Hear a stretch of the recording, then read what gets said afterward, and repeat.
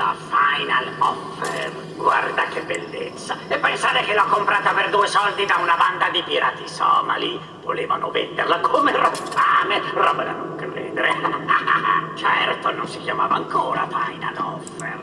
Quello è stato un mio colpo di genio. Nella sua vita precedente era la nave da carico e da crociera Olivia B. Meredith, una vecchia signora dei mari. Non se ne fanno più navi così solida e resistente con tutto quello che si può desiderare.